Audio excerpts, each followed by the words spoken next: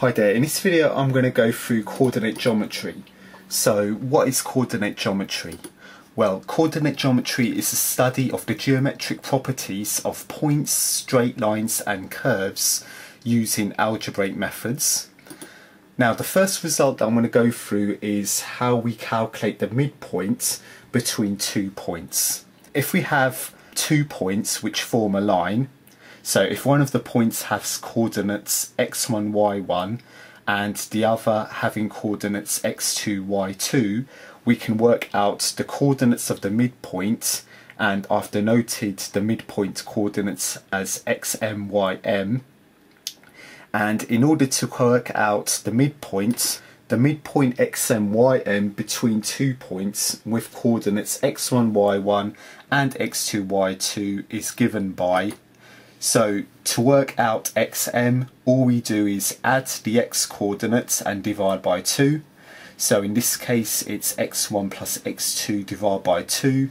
And to work out the y coordinate of the midpoint, all we do is add the y coordinates y1 plus y2 and divide by 2. So let's see this in action. So let's take some examples and work out the midpoint uh, between each of the following pair of points. So here's example one, find the midpoint between each of the following pair of points in part A, 1, 5 and 5, 3. So back to the paper and pen. So here's example one, part A. So in my first step, step number one, let me name the first coordinate x1, y1. So I'll call the first coordinate x1, y1. So x1, y1 is 1, 5. And the second coordinate I'll name x2, y2, which is 5 and 3. So it doesn't really matter which one you take as x1, y1 and which one you take as x2, y2. So for me, I named the first one x1, y1 and the remaining one named that x2, y2. So in step number two, so let's apply the formulae. So in order to work out xm, remember it's x1 plus x2 divided by 2. So in this case, when we substitute our data in, x1 is 1 plus x2, which is 5, divided by 2. Okay, 1 plus 5 being 6, divide by 2 will give us an answer of 3. So 3 is the x coordinate of the midpoint. So let's work out the y coordinate of the midpoint, ym.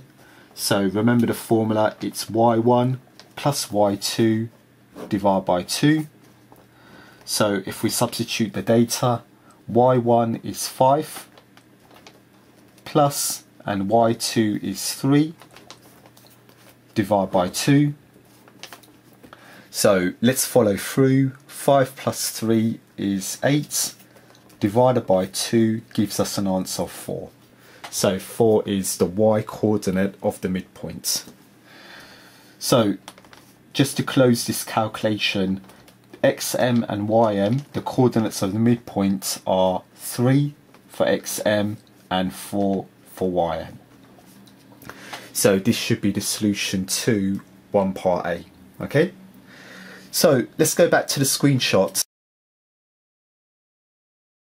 So for 1 part B, we need to uh, calculate the coordinates of the midpoint for uh, minus 2, minus 1, and the second point has coordinates 8 and 7.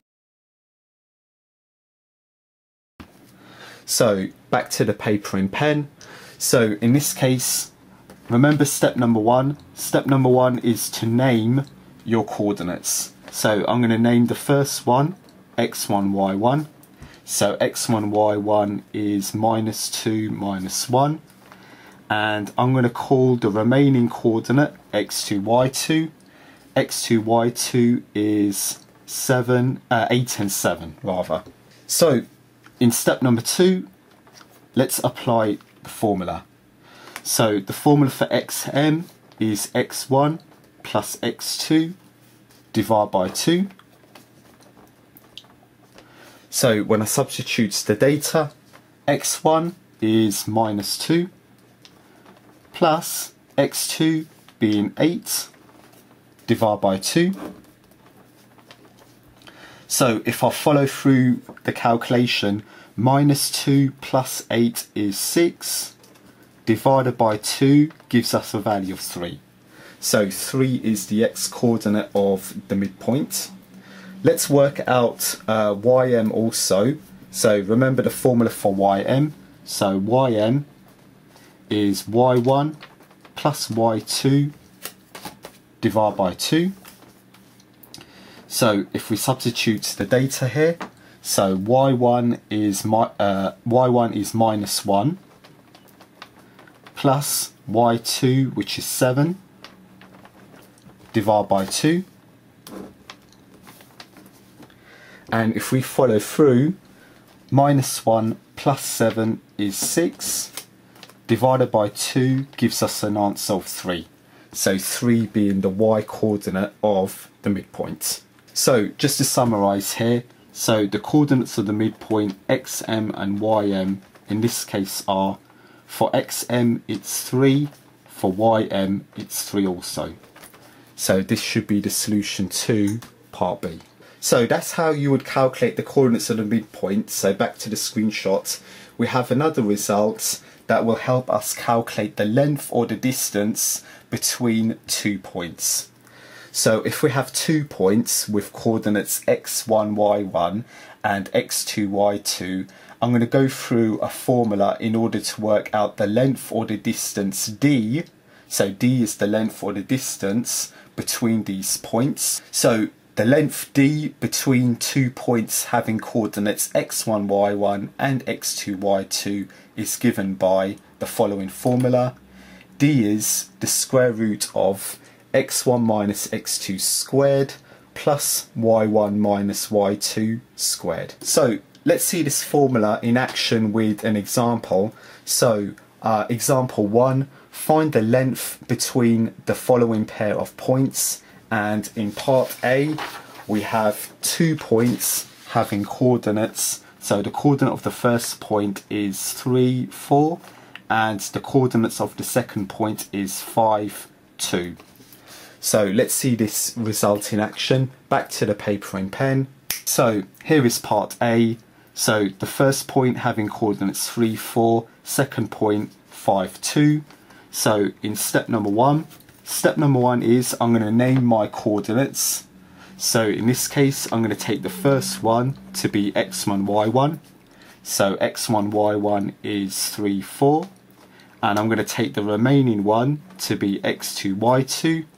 X2, y2 is 5, 2.